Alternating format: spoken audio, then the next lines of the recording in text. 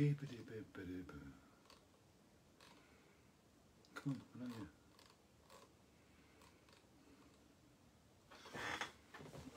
where are you? You?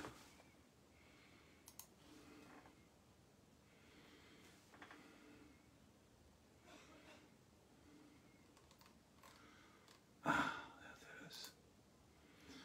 Up and running. Yay. Ah. Welcome, welcome, welcome. Gary Stafford, Lane Babbitt, Chris Bell, Laura Bittman Ward, Marina Buru, John Mullen from Dumbarton, Stuart Lehman, Eileen Blackwood from Kilmarnock, Nita Schlecker from Bayern, George Connor, Matthew Greenup, Samantha Lill from Maidenhead, Keith Johnson, evening, where's the remote? The remote is through there, I've already, that's already up there. I don't know exactly what's happened with that remote. Oh, sound up, turn the sound down. Thank you all for all your wishes to my mum. Uh, it's been a pretty hectic day, and um, it's been yeah. My mum never kind of really wants. She never wants to kind of go out much. It's like, well, let's go for a run in the car. No, no, I'm quite happy here. Anyway, uh, about a week, two weeks ago, my mum started going on about um, Hopetoun House, and she's saying, "Oh, she'd love to go and see Hopetoun House," and she was saying that when she was about six year old, she used to visit her uh, her mum's aunt. So I think that's a great aunt or whatever. So she used to go out and stay, and she was telling us all about this amazing place, and it was next to Hopetoun House, and it was where a lot of the servants kind of stayed and things like that. And and my my mum's my grandmother's aunt, right? She worked in the in the big house at Hopetoun, seemingly, and so did it, and her husband worked in the estate. So they had this place, and my mum kept on talking about it and saying it was called Society, and I'm getting really confused, going like Society, what's Society? And she said, "Oh, Hopetoun House. I'd love to go up there, but not now. I want to go. I'll go up in the summer when it's all sunny and things." I went, "Great. Well, but why don't we just go up? It's your birthday. Why don't we go up your birthday?"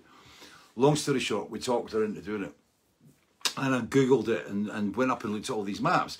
And my mum was on about this row of houses that was down by the river, but down by the side of the Forth that overlooked. You looked straight out to Rosyth, right? It was just vir- virtually under the bridges to the kind of the west of the bridges. And um, so I googled it and I couldn't see this house. There was nothing on the survey maps, and there was one place called Eastern Society House or whatever it was. So anyway, we decided to get in the car today. Beautiful morning, and we drove all the way up, right? And I had an inkling. I had a little inkling it was going to be one of them Fellini days. And um, so we went all the way up to South Queensferry, where I remembered my old friend Iain Banks used to live and stuff. And I hadn't been there for years, right? And driving under the bridges is always pretty awesome. I mean, and especially with the new one being there now. So we drove at South Queensferry, and the last time, the last time I was at Hopeton House was at a gig, and I can't even remember when. It must have been in the late 90s, maybe about 98, 99 or something like that. And it was a festival was put on by Jane and Shona, who used to work for me here at one point, but they became festival promoters, which was a very bad move. and they put on, they got Hopetoun House, and it's, I mean, it's a beautiful building. I mean, Google it, H O P E T O U N, Hopetoun House, and they got Hopetoun House. They got the estate grounds to put this massive festival on, and it was like wow, and it just became from then on. It was it just became an absolute kind of nightmare, right? the gig was brilliant. I went, went along and I, it was um, Little Feat were playing with obviously um, not with Lowell, but with the, the, female singer that I'd seen before because we played a show in Denmark with them years, years ago. And um, Steve Earle of Copperhead Road Frame, and I'd never ever seen him live. And Emmylou Harris, right? So, I mean, the lineup was fantastic, and it was just a typical Scottish festival kind of reaction. It was like all the diehards of those kind of bands came along, but it just didn't excite the imagination of the people. And there was a lot of money lost in that gig, a lot of money. But I mean, the, the event was fantastic. It was really well organised, the show, the sound, everything was brilliant. And that was the last time I was at Hopetoun House. So I'm driving up this road, I'm going, I don't even remember, maybe because it was I had a few drinks at the time. But we drove up this road and then we kind of came into the estate grounds. And my mum's starting to go like, oh, I remember cycling the bike up here and things, which was like six year old. We're talking about mum's 88 and she remembers being there in 1944, right? And she's going, yeah, I brought the bike up here and things. And I'm going, great. And she's really animated. It was, it was lovely, you know. And we were right at the side of the Forth, and I was I was getting kind of blown away by it. This is like wonderful. I can't remember being. I was definitely there in the daylight, and um, and we drove up and found what was called Society Car Park, and we went down there, and it was basically a bunch of trees with a load of mud at the bottom, and there were people parked their cars, and um, the sign said road ahead closed, and that was the road that I'd kind of sourced on on the maps, on the OS maps. That that was kind of where you got to this area that my mum was on about. So um, she'd been on about these big Victorian houses and how they had like three doorways, and the doorways went into kind of stairwells that went up, and there was like there was basically on each stairwell there was a house up, upstairs and a house downstairs with tiny rooms, and that was where the, the, the servants stayed. And as I said, it wasn't on any of the OS maps, and I thought, well, it's, maybe it's demolished, or maybe the sea's taken it, or something. You know, maybe you know it was really strange. But we drove down this this place, went down to the car park. Right, it says road ahead closed, and, and my mum's got the walker, and I'm going. There's no way we can start off roading with my mum, right, with a walker, right, with a frame. And there was a guy there, and I got talking to him, and he says, "You're fish," and I said, "Oh, hi, you're fish." She says, "Don't remember many names, but you're definitely fish." And we got talking, and I said it's my mum's birthday, and he said, "Oh no, well you can go round, drive round the other way." So I thought this is kind of quite crazy, you know. So we drove up and, and, and went up onto the main Hopetoun House Road again, and there's a little sign said, you know, Easter Society, right? And it felt like a bit like The Prisoner. It was it was just that kind of vibe about it. And The Prisoner, this the UK TV series. Oh, by the way, Erdinger Time, Happy Fish and Friday books. So we turn in, and I'd seen when when I'd been googling, I'd found this kind of big white building with these kind of turrets, that kind of mock folly kind of vibe thing, you know. And uh, I'd found that on the corner, and Mum had said, you know, on the corner of the road, this this, this big house, but this is society where the auntie stayed was down there. So we saw the big white house, went great, and we followed the road down, and lo and behold, we turned round to the right, right?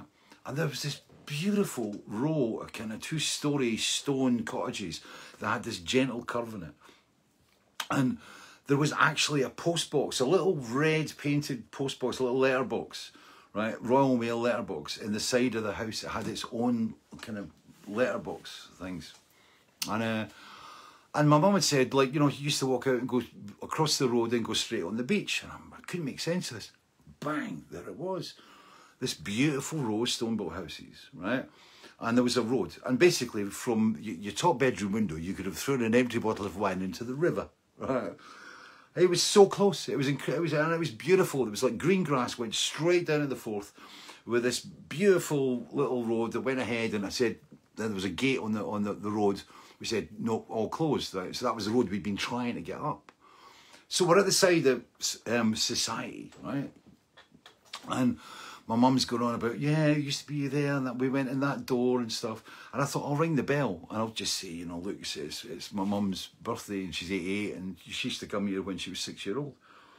And um, I, I rang the bell, and there was nothing, and there was lights on in the house, but I thought, oh, starting to get a bit, you know, and I've got the mask on as well, just what you need. Big six foot five guy with a mask on. It's all right if my mum comes into your house for a bit. she needs to use the toilet. No, it was. Uh, it was so. we was sitting outside, and my mum's explaining to us, and she said that she remembers when she was a kid that she used to look across, and she said there, there was three rows of warships, right? And she remembers all the camouflage uh, paint and the way the warships were painted up. And when she used to go up and cycle up and down the, the from the estate, or, when she used to cycle when she was there, because she went there on holiday, right? And um, you know, she remembers all the, the, the Royal Navy um, guys marching down to, the, to get to the boats to cross over to the Rosyth dockyard, which was a massive dockyard on the Forth, where um, uh, during World War II it was it was very heavily bombed. And um, I've just had one of those moments, Bruce Watson. But I'll come to that. Right? So, Rosyth was across the water and she remembers seeing all the ships and being there in, in society where she went on holidays here and the doorbell's rung. My mum's telling us all about and explaining this and things. And a guy walks round, right? And a, a guy walks round and he was kind of um, well-spoken chap. He looked kind of, he looked like he'd been in the military maybe, right? Like officer kind of vibe about him. Nice guy, you know. He was very pleasant, but like I said, he was kind of very concerned because he was faced with a six foot five guy with a mask on, right? And I went, hello. And it was like, it was like, I wanted to say, don't worry, right? And I go, don't say that. And I went, sorry, don't worry. We're not here to rob your house. I said, look, I'm really sorry. I understand it's a private road, but I said, explain mum's 80th birthday, da, da. and the guy's looking really kind of charged, you know, and uh, like ne really nervous, right?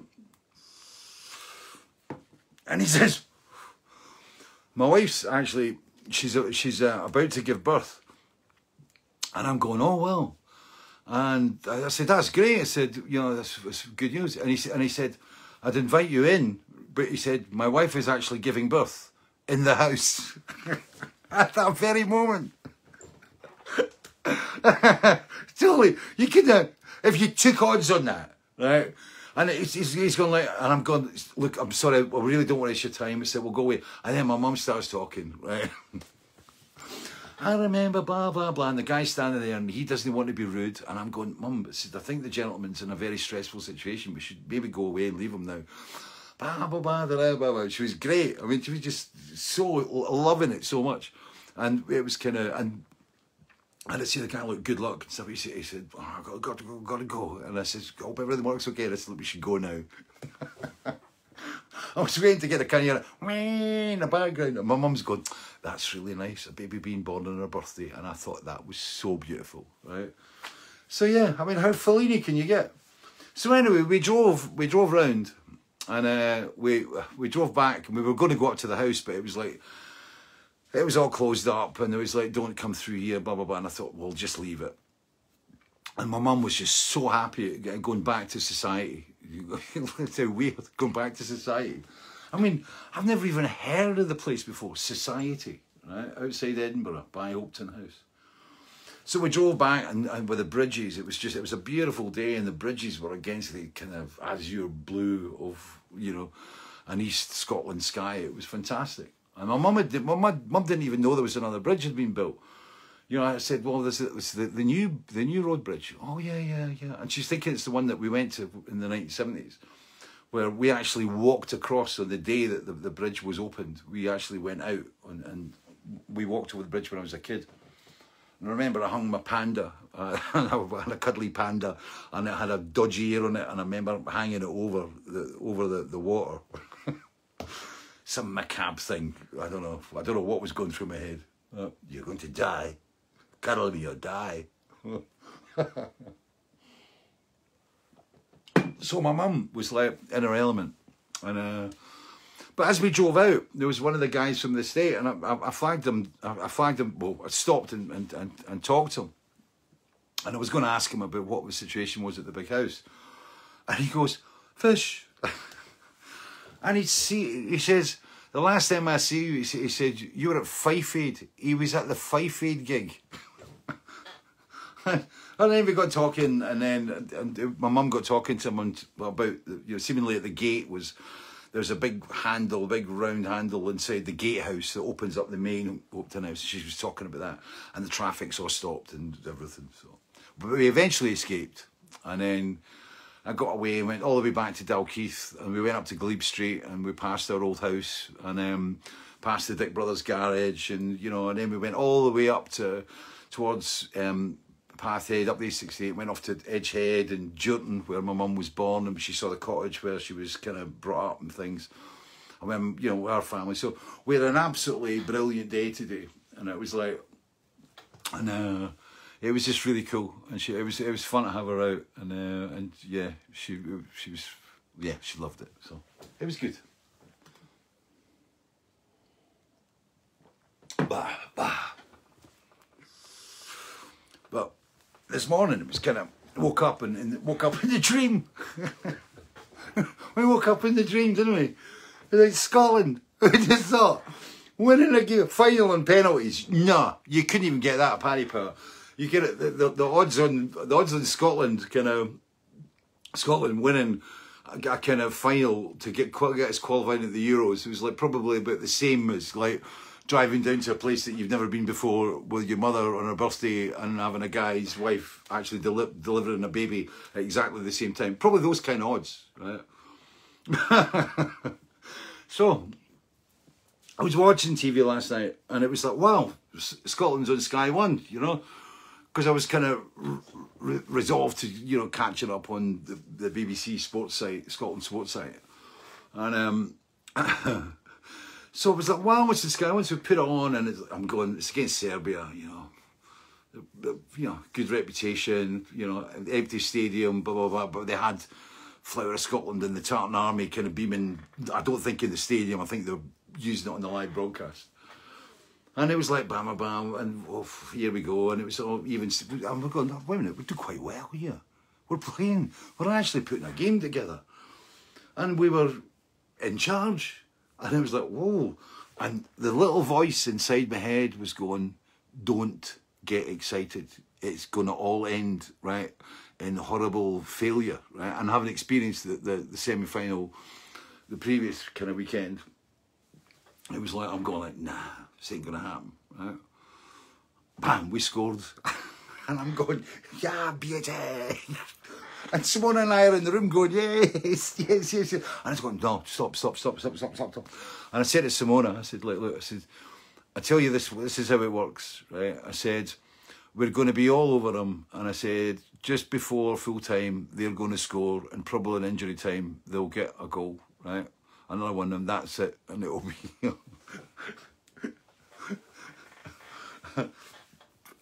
and like I said, we're 1 0 up, and two minutes to go. Defensive mistake, great header, back of the net, 1 1. And I'm going, uh, I can feel the pain coming again. Like, no matter how much I've been trying to let you go, don't get involved, don't get emotionally involved in this game, stay away, stay away, it's all going to end up in pain, right? extra time, extra time. And I'm going, oh, here we go. And it was, and then suddenly Serbia was starting to get get quite good. And I'm going, it's going to happen. It's not going to happen. And then we had two dodgy. There was a couple of substitutions made. I don't want to get too much into this, but it went to penalties, right? and um, the commentators are going, well, Scotland's never won a, a penalty shootout before. we have only had one, but we won it. and it was like, and we had to take the first kick, and every kick that went up, I'm, I'm going, this is off the bar. It's off the bar now, right? This, and it's like, wow. and then Serbia, whoa. And then we got second one, this will be the one that'll screw up. Bam! And then went went up, and then on the fifth penalty, and I, was thinking, they'll never do it. And they have five beautifully struck penalties. And up comes the Serbian to take the last kick of the game, and Marshall pulls off this save. And I was sitting there, I was numb. I couldn't actually grasp it immediately. I'm going, we just won on penalties, and we're now going to the, the, the Euro finals next summer. and it was it was my but it was like a dream. And I, but I had said to Simona for about an hour, I said, "Don't get hopes up here. It's going to be crap. It's going to end up in tears." How wrong could I have been? And it was it was great. And today when I passed the news agent, it was like every paper it was like, you know, we've won it. Argentina, here we come again vibe, you know. But, uh, but yeah, and we've got England. you couldn't write it.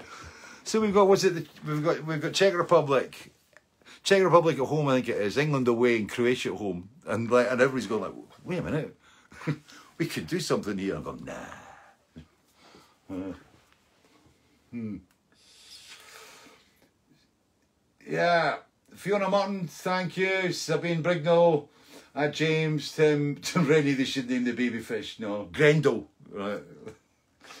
Could I suggest you call your child Grendel? It'll have lots of fans. Yeah. Brian Orchard, cheers, mate. John Waters. Yeah. Let's hope that the free discussion is short. Well, it has been. It's over now. Yeah. Uh, Easy win for England. Please don't steal the turf and wreck the goalpost this time. Mark Stoughton. Yeah, yeah, yeah. yeah. It was um, the last championships we were in. It's, it's true. I, I don't know if I, I, I did this before, but it was uh, um, the last time Scotland were in a, major championship was it was the World Cup in France, and um, and I was there. and we wanted to go to the it was Andy Gardner. Andy Gardner was a guy, him and I had written uh, Mr. Buttons together at the Chateau Marouatte. And we became great friends. And Andy lived in Paris with his um, partner, and she was involved in, and she did a lot of um, film soundtrack work and things. And uh, I think she had film, film editing, it was. So Scotland got Brazil in the opening match at, uh, at the the was it was no Parc de France anyway the the the, the big stadium in, in, in Paris, and um, I'm, oh, I really wanted to go right, and I just come on, oh, it'll be great, Scotland and France, be fantastic, you know, World Cup, and like I'm going, yeah, that's whoa, must be done, right? Could I get tickets? Could I? Right. And a friend of mine who was a fan and his name is at the moment embarrassingly escaping me because I've not seen him for absolute years. And he was involved with uh, Paris Saint Germain Football Club, right? And they played at the stadium, right? And he got involved, right? He got involved with getting all the people together for the kind of um, pre-match handouts and stuff at the stadium, right? Which basically, Gilles, Gilles, Gilles, that was his name. And Gilles phoned me up and he said, look, he said, if you're willing to come in really early in the morning and help out in the stadium, we can get you into the match, right? And I'm going, ooh.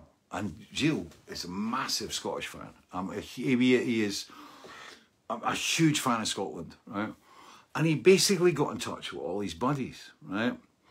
And he said to me, if you know anybody that's want to get come out and get involved, and I knew a couple of people, one of them being uh, Jay Crawford, right? Who was a DJ at Radio Forth. So we all got together and flew over, and I stayed down down at Andy's and stuff the night before. Got rat-assed on brandy the night before, and went down to the stadium right, on the day of the match. And what we had to do was basically um, put a load of coloured things on the seats, which basically at the given moment everybody holds up the, their coloured card and this writing forms in the wall that's created by the, you know, that crap, you know. And um, it was, uh, so we had to put the colour cards out and put all these little notices out which said, at the moment, when you hear this noise, you hold up the card in the air and you do this, and but you'll turn the card. You, this shit, right?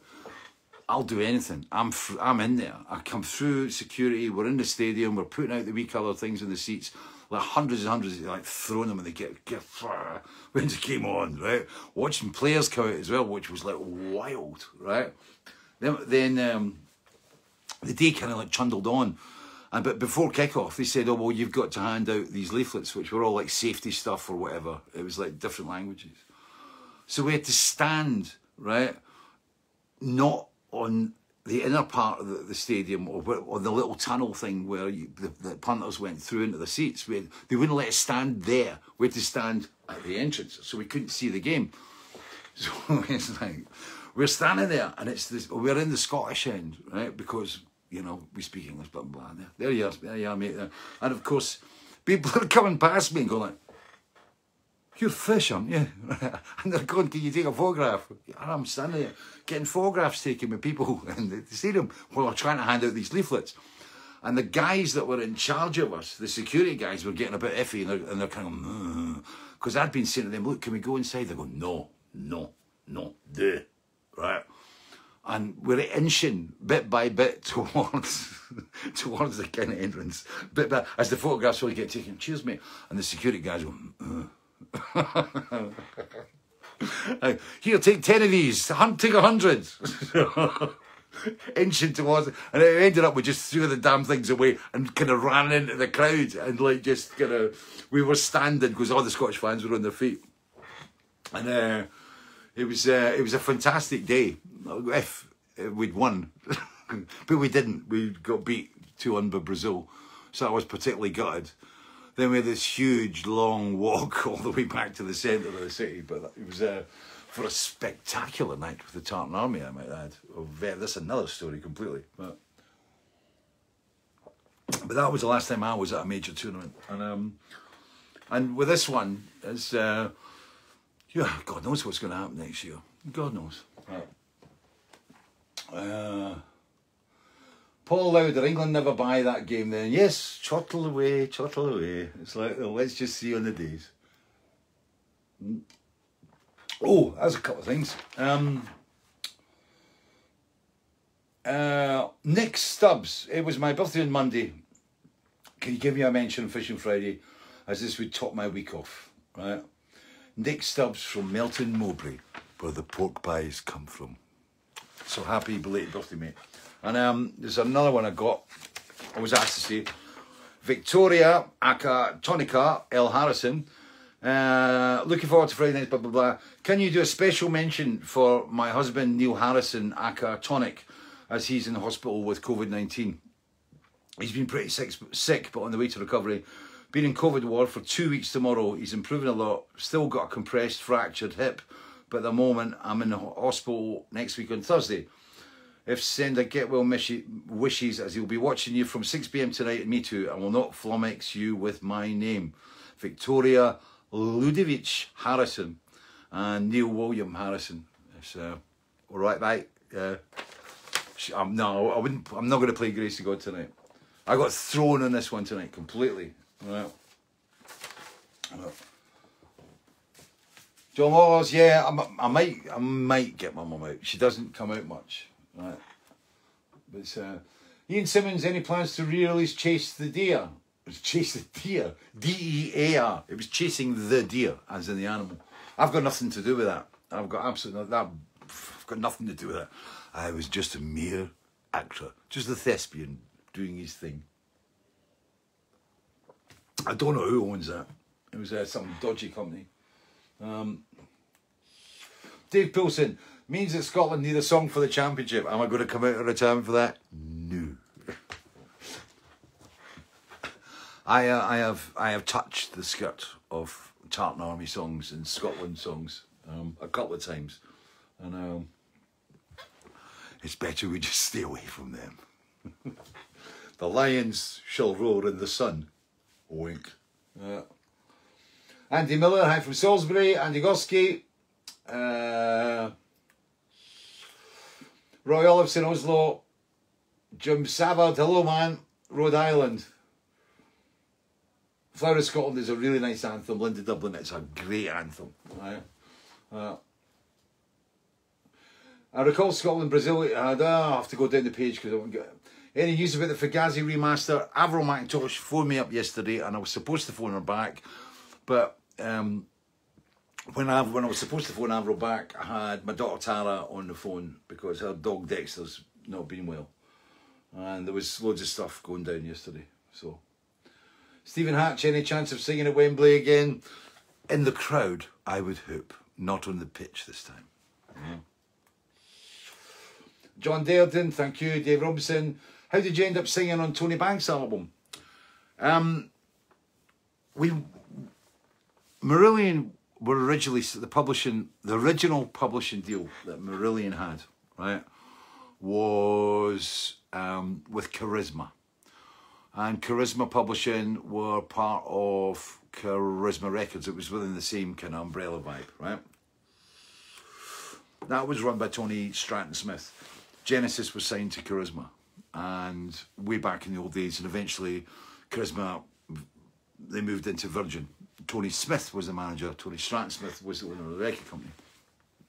When Marillion signed to EMI in 1982, Charisma wanted us. That's another completely different story, right?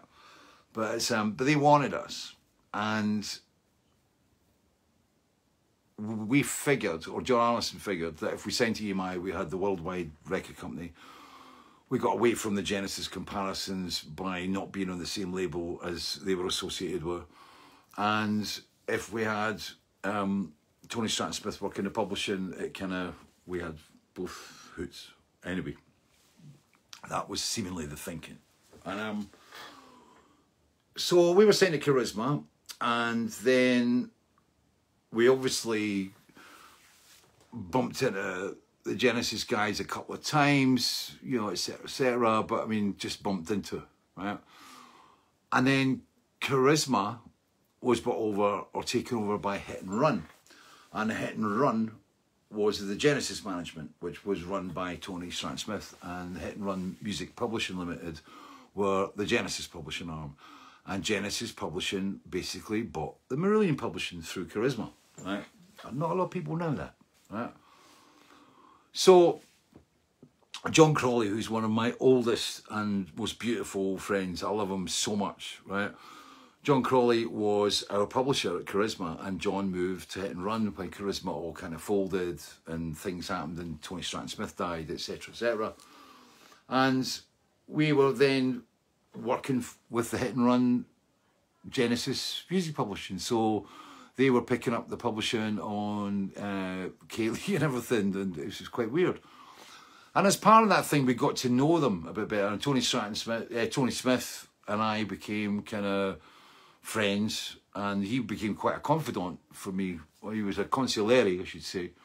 Um, and we had long talks when I was going to walk out Marillion in 1987, and he tried to convince me to stay in the band. And, you know, he said basically that, you know, you could have a solo career and be in the band at the same time as his artists had done, you know, both Peter and Phil. Right? And what happened was, that because we were all signed to the same publishing company, Tony Banks got a chance, he got offered uh, the soundtrack of this movie, and he had a song which um, was going to be one of the title track or whatever, or one of the principal tracks. And Tony Smith came up with the idea that it would be a good idea to put the two of us together, and I could write the lyrics and, and what with Tony. And um, I went, wow. I was absolutely feared. I was going like, oh, um, daunted, and you know, going all the way. I mean, I'd, I'd met Tony in backstage areas, but I was invited down to his house, and I went down with John Arnison um, to Tony's house, and I was like, best behaviour, like you know, it was like when they went to, do you want a drink? I was like, oh, just a small one, because I had a bit of a reputation back then as well, and um, so in his house, and him and um, his lovely wife were just stunning. They were great. He was very gracious. But I remember walking into his house, and I suppose it's the same way as probably one of you guys walks in my house and sees the misplaced childhood kind of cover and goes, uh, "Is that the real one?" I did exactly that with the Betty Swanwick cover of Selling England by the Pound, and the the, the, the watercolor was hanging, and and and in his kind of front uh, hall area, right? And it was like is that, yeah, whoa. this is where you are. And he was great. And we went through and um, we went through to this kind of little room he had at the back, a kind of studio kind of arrangement, the stand-up piano. And he started playing the piano and playing his ideas and things. And I was singing along, going, trying to jam along with Tony Banks. And it's like, you know, you've just met one of your kind of heroes for the first time. And it's like, let's jam along a song together. And he's, he's, he's very like a school teacher. It's like this note, bam, bam, bam, bam, this here, here, here, oh, here, here, here. And it was, it was like that. And I, I, I didn't work like that normally. but anyway, I went away and wrote this lyric, and he said, "It's the lyric. The film is about bikes. I knew nothing. That's all I was told about the film. It's about bikes, right?" And I went, "Okay, right." And um, So I started putting this lyric together, right? And I thought, it's your motorbikes. And that was kind of my approach to it. It was like, I'm right, it's, it's about motorbikes. Shortcut to somewhere, blah, blah, blah, you know. And then when I went down and presented it all, he said, no, it's, it's bicycles. Bicycles, fucking bicycles. So anyway, we did we did the, the, the we wrote that, that together, and the, the video was a lot of fun. It was. Uh, it's another story, but it's like, but but yeah, but that's how I got together with Tony Banks. It was basically through the publishing houses and the, the, Genesis management and stuff. And we still we still keep in touch, and we still send Christmas cards and, and things. And he's a he's a really nice guy. And of course, I went back and, and did um, another murder of a day, which is a, a song I listened to a, a, few months back. In fact, maybe I might put that up for a vote one time. It was uh, it was um, it was a it was a cool song. It was um, but yeah, I, I, liked working with Tony, and we've talked. Um, you know, we've, we've often said like, you know, it'd be great to get to do something again, and you know, you know, maybe that's something, you know, in in time to come. If you know, if if somebody phoned me up, if, if Tony Banks phoned me up and said, you know, I, I, need a lyric for this, you know, can you put a lyric together? Then yeah, I, I would definitely, you know, open up the box, but not to sing, you know. so but he was great. He's, he's an absolutely lovely guy, really down to earth, and um, and and also a fellow gardener, right? That I've, I didn't know at the time, but I've discovered he's, he's very passionate about his gardening. So, "Lion Will Roar in the Sun" is a good song, John Watson. It was quite funny one to do. This, I'll I'll leave that for another time. We'll keep that for a footballing weekend or something, right? There's some good stories right now. Bruce Watson. In fact, it was done about the same time as the song that I'm going to do tonight. What time are we on? 27. No. Dave Tell, thank you. Richard Bainbridge, yeah, I'm doing well. Kevin Aguirre, thank you. John Germanotta. John Germanotta, if Scotland get to the final fish, love to see you there singing live. yeah, Martin Riffin. Yeah, Tara's dog Dexter. It was like he's he's been he had what they thought was kennel cough and it's become something else that they're not very sure of. But fuck me. Vets bills, right? They're worse than New York lawyers. It's like, and I know this from, you know, Rab, who's Rab Purdy, who, who works up here and helps out round about the studio in the garden and everything. Rab's not working. If Rab, if you're watching it tonight, hiya Rab. Right. Rab's knee's gone. It's a bit of a mess, and he's done all sorts of terrible things to his back. So he's maybe lying on his back tonight as it's Friday with a bottle of Jack Daniels and a drip at the side of his bed. But, um, but yeah, Rab, get well soon, mate. But, um, but where was it? I lost it there. But Tazzy's dog, but Rab had a dog called, uh, Rab's dog's called Balfour. It's a kind of chocolate lab thing. And, you know, the lab had loads of issues. I mean, I've never known a dog like it. It was um, so many things go wrong with it. Skin. Excuse me. Call me back later. I'm busy. Thank you very much. Uh, I didn't know who that was. But it's somebody who doesn't know me. Uh, so anyway, so Balfour his dogs are X-Man. I mean, weird doggy. I mean, stuff I didn't even dogs got. You know, incessant itching.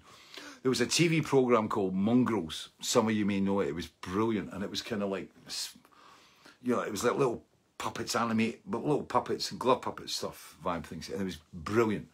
And uh, it was a there was a wee fox in it called Kieran that was very, very poorly. It everything that could possibly go wrong with a fox went wrong with this thing. And I kept on thinking about Balfour, which is like Kieran. It's like, oh, the dog's got uh, scratching uncontrollably and stuff. And it's like, I'm going, what? and uh, so anyway, so Rab's been dealing with that. And he was telling me about, yeah, it was like, ka-ching, ka-ching, ka-ching. And then it was like Tara's dog, Dexter. Same thing. It was like, you know, he went down the other day, it was 80 quid for like, you know, 20 minutes, right? And it's like just the cost of vets now. It's just frightening. And I know from my experience with when Simona had Borgamill, which was the big Irish wolfhound, right, who you know, was getting on in years, and they always have problems in latter years. And when Borgamill was kind of going out, it was like the bills that Simona got at the end were like shocking, absolutely shocking. And of course, there's the whole insurance thing now, where it's like you know it's become big business, animal insurance. It's like you know, because we all get tied to our pets and we love our pets and nobody wants to see pets in distress and, you know, and everybody gets a bit, you know, because pets can't go, it's actually my leg that's a wee bit sore on the top muscle here, just, you know, I think it's my joint. They don't talk, do they? So you need a vet, and of course it's like, but it's like the Americanization of it all. I mean, it's like you know, it's it's like Halloween and trick and treating and stuff. It's like, but it's the vet thing. It's this whole, you know, it's it's just become, you know, I remember vets drove about in kind of kind of Morris vans when I was a kid, you know, and they all had big tweedy jackets and things, and you know, and you know now it's all slick and computerized, and I mean everything, every single incident comes off on a bill that hits you, you know, and as I said, the insurance is it's all working ahead, all taking advantage of our pinging heartstrings. Uh, yeah, you never see bookies or vets where they are so at their trues, Richard Llewellyn. I completely agree with you. But yeah, it was like, I mean, there was a vets open up in Haddington, and, and I remember when I had to get both my cats, my, both my cats were put down. It was like, it cost a fortune, right? And of course, we did the usual bit, well, I'll take this and take that. See, with my German Shepherd, my German Shepherd took more drugs in the last two years of its life than I took probably in the whole 80s, right? It was like, it was horrendous amount of, and it, it, I felt terrible, you know? Without, uh, I hope you feel better soon, Linda Dublin. Oh, Laura. Uh, Vince the Fox was cool. Vince was, yeah, yeah. My neighbour, Fraser, right? My neighbour, Fraser. Well, he's, he's, he's an English guy, comes from uh, kind of down Essex way. He's an absolutely brilliant, brilliant geezer. And when he first came up here, he was like, and he went down the pub, and number one, he couldn't understand why everybody swore so much. fuck his back this, back and uh, but he was he, once he got into it, he's like, and he, he talked like Vince like, ah, no, uh, ah, no, you looking at me, what, what? Did you just call me a? but yeah, so Fraser, and Fraser's also a postman, and he's been helping us out this week with Royal Mail kind of fuck ups, right? Chris Collett, just did a quick look, listen to a video with Tony Banks, you would have made a great frontman for Genesis. Only because I actually have the beard and the hairstyle that is the accustomed frontman hairstyle and beard design for a Genesis singer. The voice, no. John Thompson, named after Dexter the serial killer. No. Tara inherited Dexter, right? Well, Dexter's name. Clive Langston, it was me on the phone ordering my Fish on Friday shirt. Yeah, the shirts. Yeah, well, seemingly you've, you've, you've probably seen the design by now. Uh, Mark Wilkinson uh, uh, put it together.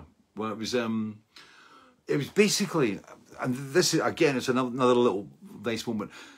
Simona took the photograph because we were trying to work out, you know, what we were going to use for a potential shirt image, and Simona actually took the snapshot, and that was the one we were kind of using as a base idea, and I phoned up Mark and I said to Mark, you know, can you do something? Can you kind of cartoonize it? You know, can you do something with it? And um, he came back with that his program that flattened all the colours out and stuff and, and made it slightly animated. And I love it. It's great. You know, it's uh, um, and the thing was on the back on the dates, right? It's it's, it's basically um, it's world tour, right? Fish on Friday world tour and it's got every Friday on it from the Lemon Tree, right, the full band performance, to Couch. It's got Studio Couch, Studio Couch, Studio Couch, Studio Garden, Studio Couch, Studio... So it's got every Friday in 2020 from March the... When, when did we start it? I think it was March the 30th or whatever, with the first first Friday, or first Fish on Friday was.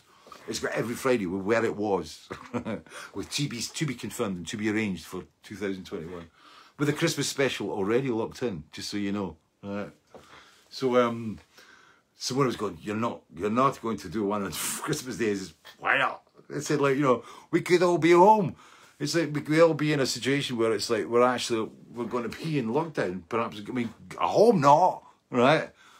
But you know, we you know, we could be, you know, let's see where this goes. It's uh, the numbers are just nuts, you know. But um but yeah, so anyway, the back of the shirt has got every Friday on it. That, so you can you can go, yeah, I've seen that one, seen that one, seen that, missed that one. every Friday. And it's like we're up to, I think it's 34 shows now. 34, it's outrageous. It's like, I never, I never ever thought that I'd be, I'd be doing this at this point of the year. I thought, a couple of months, a couple of months, and it's like, here we are. But yeah, so we've got the. I've got to get the numbers. But what happened was, you probably all know because you were all part of it, right? Part of the cat herding that I had to do, right?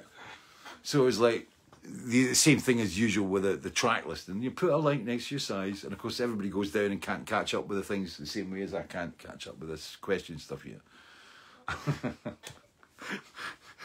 and there was like an outsizing friendly. I'm a medium. I'm a medium. I'm a medium. no. I'm an extra large. I'm an ex- I'm five XL. I'm five XL, and I'm damn proud of it. It was like everybody was out, right?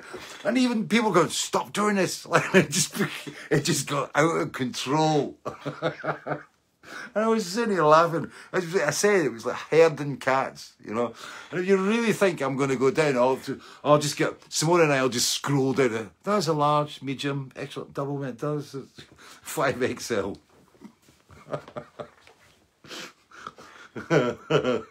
so, the t-shirt is in black, sir. Right, we only, we have them in black. Right. Don't know when they'll be here. I've still got to put up the, I've got a phone in the orders and I'll get the orders into Razzmatazz who are making them. I'll get them on a Monday. and But it's unbelievable. It's like vinyl. Who would believe it? Blank t-shirts. There's a worldwide shortage of blank t-shirts, which is all, when you think about it, it's all got to do with the manufacturing houses that are basically placed in, in, in India and, and Bangladesh and wherever the hell these, these shirts come from, you know. And it's, you know, obviously the workforce is being affected. You know, I mean, it's I mean, incredible. It, it chains all the way through now, affects you in all these different ways. So basically, Razzmatazz are chasing down uh, uh, t-shirts to get the blanks to to make up for you people. So, um, but yeah, but I think you'll like it. I think it's a cool shirt. So, uh, but it was, yeah. But there's something else I've got to tell you about. Crimbo Spesh have one that get have one that gets raided. Francis Bishop. Uh, yeah, it's going to be really cool because you're going to, if you're wearing these shirts, this isn't like kind of because this goes beyond the, the, the music, I think, a little bit as well. You know, so it's going to be interesting when you start wearing the shirts, and you might have complete strangers going, oh, "I watched that too. I do that. I watched that." Because there's so many people that watch this now that are not necessarily kind of fish fans. They just watch it for the crack. Right? Wait, waiting for me to find the remote. 10 and 7, watching my time, professional.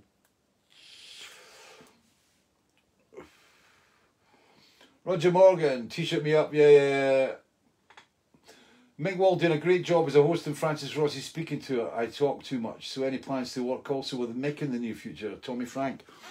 I don't know, Mick, Mick's offered me the chance to, to do it. I know. It's, uh, yeah, it's, it's, it's interesting, but I mean, I don't need, I'm here, you know, 34 shows in, and which is, you know, 68 hours or whatever uh, talking along different subjects, some of which I've doubled up.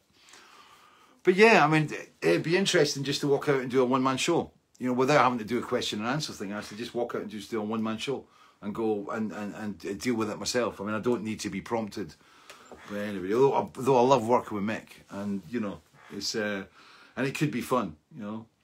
And as I said, you know, I did a, a big interview for Classic Rock um, uh, with Mick Wall just a week and a half, week ago, week and a half ago. I forget, I lose time.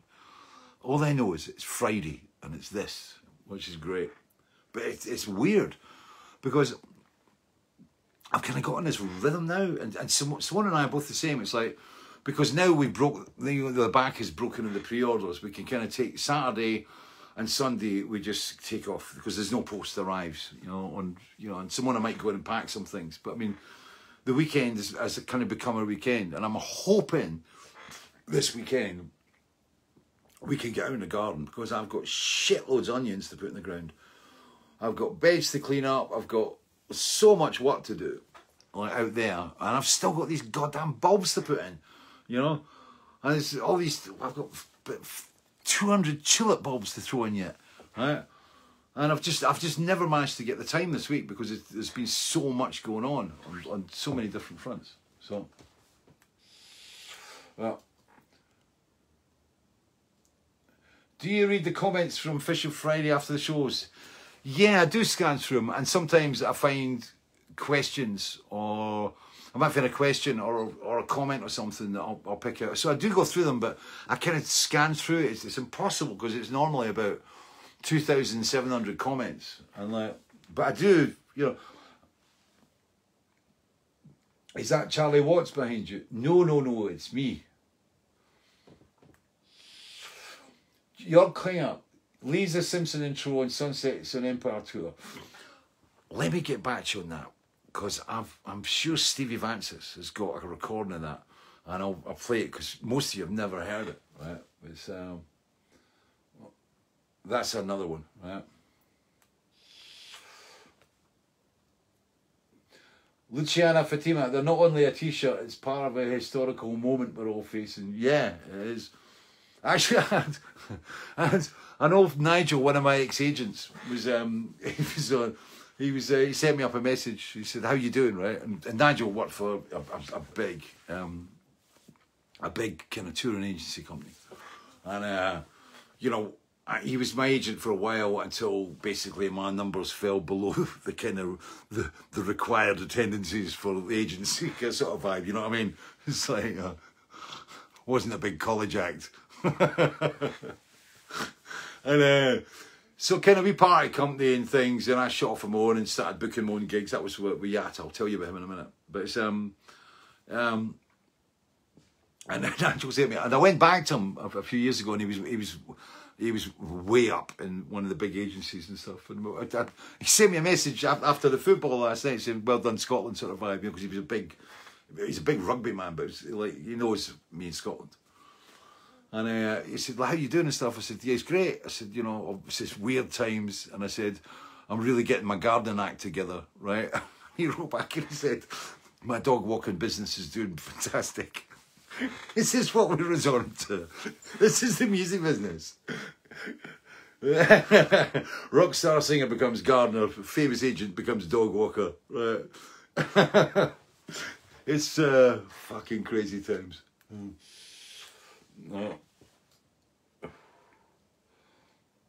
Yeah. Carol Lawrence Olson, the crazy thing is that some of us have watched all your Fish on Fridays. I've only missed one of your gigs this year. I wasn't at the actual gig in Aberdeen. And that brings me on to something. Strap yourself down. Yeah. Oh, gotta watch what I'm doing there. I need to touch the buttons and fucked up. Keep, keep the paws away from the buttons. The paws.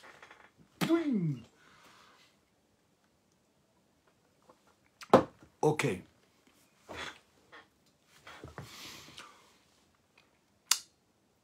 We have the Lemon Tree performance minus about half an hour. We have about the end part of State of Mind and then an hour and 33 minutes, including Rosie Damascus, first time ever the first performance of Weltschmerz live, first party's over. We've got, I think we've got He Knows, we've got the script, we've got the company, we've got Vigil, we've got Family Business. I think it's missing Big Wedge. It misses um, Grace of God because we opened with that. It misses Man with a Stick. But everything else that we played that night is there. And Steve Kent, my sound engineer, we normally we normally don't record first gigs, you know, you just throw on something, but you know, you don't kind of get really into it. Steve Kent happened to like press the right button at the right time, although it was like about thirty minutes late. But he he got into it. I mean, it was the first gig of the tour. Steve Vantsis's got tapes, and it sounds really, really good. It could be easily released as a kind of an official bootleg, easy, and um, it's really good quality. And Steve's really polished it up. So we have an hour and 33 minutes of the only gig we did on Friday, March the 13th at the Lemon Tree in Aberdeen. We have it. I don't want to put it out as uh, a live album. I want to do something in a very, very different way. and I'll give you more news about it next week. But we're not going to be selling it. We're not going to be selling anything, right? What we want to do is set up something where you donate. I'm not taking anything from this. I'm, I'm, this is all the money that's raised from it. This is going to go to my band and crew, most of whom didn't get any furlough. They didn't get any backup off the government. They've been sitting there, some of them had jobs, and basically what we're doing is like, we're tr- trying to top up all the money that they lost, that they should have had in wages between the UK tour and the European tour. And I'm looking back at some other it's associated band and crew, people that basically have been, you know, hit bad. I'm taking shit off from it. We just, I'm just going to basically put this up and people can give what they want. But I've got nothing to it. All I'm doing is supervising it and making sure things go to the right people. But this, well, you'll get more news about this, and I can give you more detail probably at the end of next week. But um, it's, uh, it's, it's you'd think it would be really simple to put together, and it's actually been quite complicated because we walk into different immovable institutions that we have to try and find a way around and things and uh, we were managing to do it. But the, that lemon tree gig, you, you will find out, but you will be able to hear it maybe sometime in December, at the beginning of December. But I'll give you more, more, more words on it. But so, but that lemon tree gig, that one and only gig, it actually exists, and it actually sounds really fucking good. and it, and hearing this stuff, it's kind of, it kind of. you, I get mixed kind of feelings about. Oh, it's like there's a sadness because it's like you know, it was like that was we were that was going to become so good. I mean, Liam, Marcel, you know, Gavin, Steve, Doris, myself, you know, it was even on that first night you knew it was going to be special, right? And um, and it was like like I said, there's a sadness that we never managed to kind of follow on in that and, and develop it, and you know. But at the same time, it's like you know I've got a great band. You know the, the guys that have been that have been playing with me, you know they've been they've been really special, and uh, and that's one of the reasons why I wanted to kind of put this together because some people you know got got took a this year, really took a kicking. So, but as I said, that Lemon Tree show is sitting there it's all set up. We've just got to like basically put the square pegs and the square holes and the round pegs and the round holes and bring it all together and go bam. And there you are. So Laura Bittman Ward, crew's having a rough time too. Yes, absolutely. Which is again, you know, why I wanted to set this up. Uh, uh, uh, Who's in the picture on the wall? Me, me, me, me. Stuff ends up through here because it's like you know I can't I can't put things in myself up through there. My, my daughter actually said, Dad, she said it's really sick. He said you, you it's like a shrine because I kept them. People kept giving me photographs. I was throwing them up there and stuff. And when I lived on my own, it was kind of when I lived on my own, it was just I throw stuff up. And Dad said, "Mum, so Tara went, Dad, you can't, can't do this. You know? She says, you got to start getting, you can't of yourself everywhere. So they come through here, they all gravitate through here. And I got loads of stuff. Pictures with hair and everything.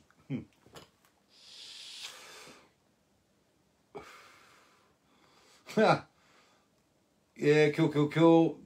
Charlie B, do you have any interesting memories of touring with Rush? Did that before. Memories of program. Sift back through the episodes and you'll find it. Uh, it's not. This is. It's not. You're not being asked. This gig thing. It's like it's not for sale, right? It's up to you to decide, kind of, uh, what you want to do. It's like it's. You know, if somebody's got twenty pence, then cool. Somebody's got fifty. Somebody's got a quid. You know, we're all people are getting hit all over. I mean, we notice it here as well. I mean, we definitely notice it. Uh, uh. Oh. Oh. Fish on Friday badges would be pretty good. Badges? we have no stinking badges. No, we don't need no stinking badges. Yeah. Uh,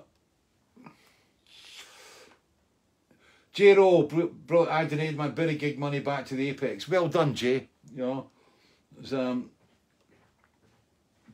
E. Graham, I told you a few weeks ago the bulbs could wait. I even wrote the bones of a song since then called The Bulbs Could Wait. Now they're still not planted. Now it's now it's onions. Fuck's sake, what rhymes with onions? Sickle. Uh, yep, get it, come on, Tim Sycamore, thanks. Alvaro Moralesque. What is the status of the show of the Clutching Tour? I was in Islington, London on both nights. We've been, Steve's been trying to put this together for ages and it's just been left. I think in reality, it's because we've been totally focused on Weltschmerz. And, um, you know, getting the Weltschmerz album out and, and delivering that where took absolute precedence over anything or any of the live material. But as I've said, you know, there's other things going to happen this year. I've already mentioned that the, the, the, the clutching shows will come out as, you know, as a, a, a, live package in the same way as Return to Childhood and um, the, the, the Moving Feast stuff. We've still got, as I said, 13 Star. I'm still waiting on Vigil and Internal. But you know, I've I've got to be careful. I mean, you know, I've got to, I've got to take into account the, the, the reality of the situation, you know, and as far as as much as you want to put something out, you know, it's can people afford it? And you know, there's no point in getting thousands of albums made if they're, they're sitting in a storage container and you know I can't you know I've got, I've got to be careful in, in, in how I, I, deal with this. You know we, we don't we don't need to put anything out yet you know. Like I said I mean we've got things like the shots. The lemon trees is my banner crew thing. I've got the shots. I've got Weltschmerz we've got the mail order here. That kind of keeps us alive and we we kind of we take over and, and move on that and that's fine and it's um, but I've got to be careful in how I stage these deluxes because both the, the Vigil, well, basically all three, Vigil, 13 Star and Internal Exile, you know, if these all come together, the idea is to put Blu-rays on the back of them and put them into um, covers similar to Feast of Consequences and, and doing a deluxe version of it. You know, I think Vigil especially deserves, you know, a, a kind of a bit more oomph, you know. And as well, I mean, Vigil and Internal um, there are so many live versions of the songs, and there are a lot of great demos from that, that time as well. So they're, they're both big content packages, you know. And 13 Star, because, you know, I was working with Steve for the first time, there was a lot of demos that were kicking around, a lot of ideas that were flying about to go in that. And, you know, I, I guess I mentioned last week, I mean, there's all the, there's all the, there's nearly the entire 13 Star album from the, the, the Nearfest um, gig that is going to be able to put on a Blu-ray of 13 Star, including, it was the first album that I did a making of. So there will be a making of, that will go on it from the old one, but there'll also be a new discussion and a new kind of interview of looking back at that time. And, and it's going to be interesting to maybe do a vocal commentary on the actually, you were talking bollocks then, son. Max Scary, thank you. Uh, Shibonano. Yeah. Avi Larson, I've got some mead. I love mead. mead. Who's it? Oh God, Cat Weasel. Uh,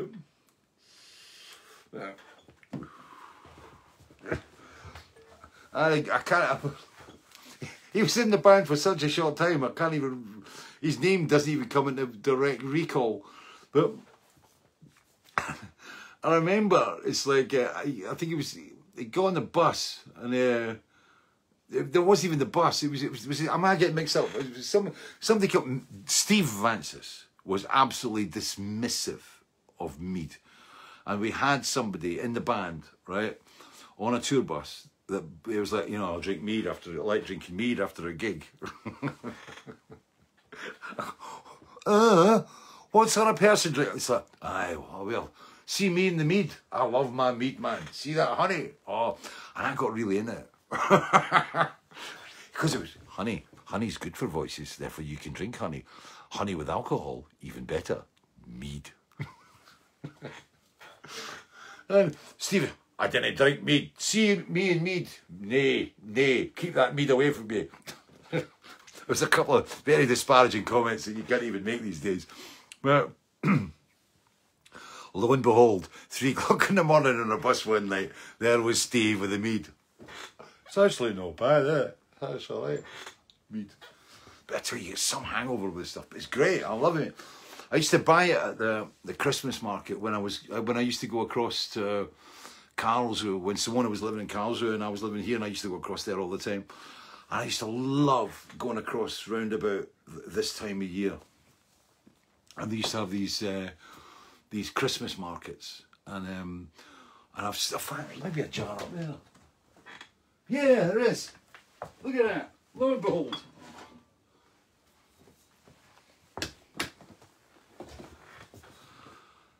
It says Met. It says you see it's but it's Met, and it's uh, Beerenwein Met. This is this was honey. This is what you get. That's serious, man. And uh, that was my meat. And I, I used to get it. We used to go down the Christmas market. I used to love it. The one at Karlsruhe. Well, Durlach, I should say. Not Karlsruhe, it was Durlach. And the Christmas market there was just incredible and you could get all this mead and warm meads and glue wines and stuff. I love it. I love German Christmas markets.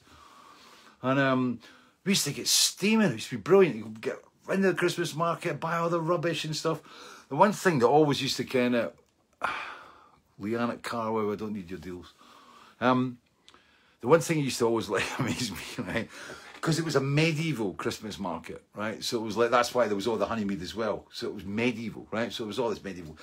But it was like you could buy it was all loads of shit wrapped up in medieval garb, if you know what I mean. So and uh but they had, you know, pigs on sticks and stuff like that, and it was, it was great.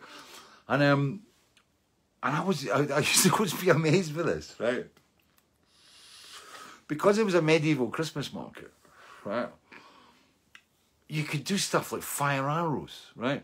So you could go up, and they gave you a lot, and there was this kind of like a, a corridor. It was a long corridor thing. So you had, you know, on it was like a big corridor. and that side was the Christmas market, and then there was a big castle wall there, and then they had a, a, a barrier, right? And at the end of this barrier, there was a target which had about fifteen straw bales behind it to stop arrows taking out passing motors. but you used to go up completely pissed, and they used to give you a longbow, and you're firing these arrows. And Tally and I was actually no bad at it, right? Shoulder was giving me a bit of a jip. I was no bad at it. But I used to be amazed, right? And it was like, you know, you'd be you're doing this but And then there was another place where you could, they had like jacuzzis, right? Well, like big, big baths. And you could actually go and change and, and go into these baths and sit in the baths and they give you meat and stuff. It was fantastic. And then there was this other area where they had all these weapons and they were like halberds and broadswords and you could pick up a broadsword and, and you know, twirl it about your head in the, in the area and stuff and, you know, be a bit of a knight for a day, a knight for a day. Where I'm just going, I could never imagine this happening in Scotland. Imagine this happening. Yeah, so you've got a huge fair, right? Lots of alcohol, right? And weapons, including arrows and bows. it's just a recipe for a goddamn disaster. 15 people killed at the Christmas market. The maniac was, you know, but it was great. I used to love the Durlach market, but that was where I used to get the meat. So, uh, yeah, I drink. Oh. Oh. Um, Alan McDonald, you're on Radio Scotland. Just having, just having my tea. Guess the song. Does it begin with dum dum dum dum? Yeah, I know the one. Yeah, Wolfgang Tremel, no Christmas markets this year, almost got cancelled. I know. It was um this is the crappy bit of it all. It's um I mean even the Edinburgh Christmas market, I mean it is a commercialised rat warren, you know.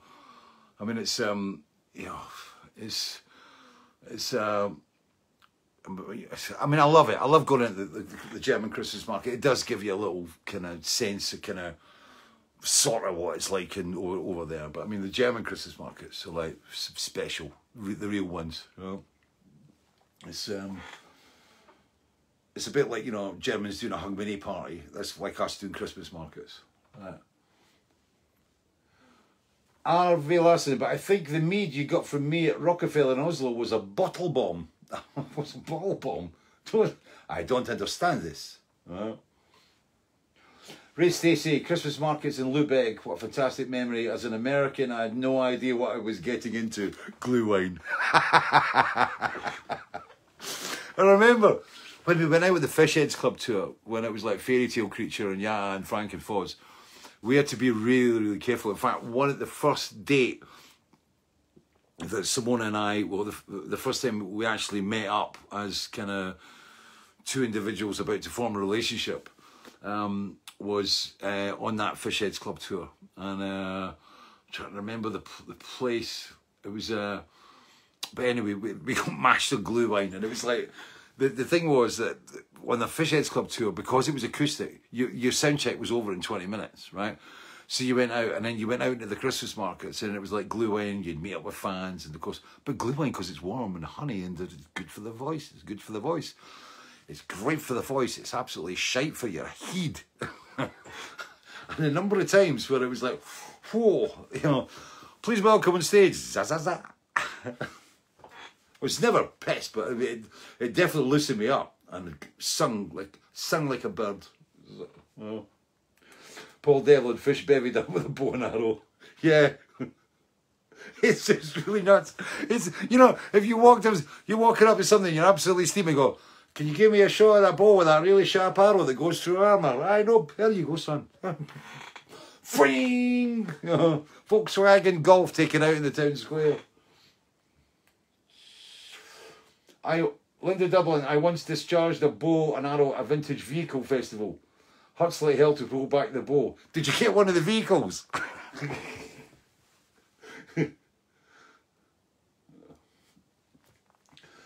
Robert Thompson, the Buckfast monks would pump the mead monks. Buckfast, what a, a, a satanic drink. Oh no. Marcus Dick, I'm glad you survived the Durlach market. Yeah.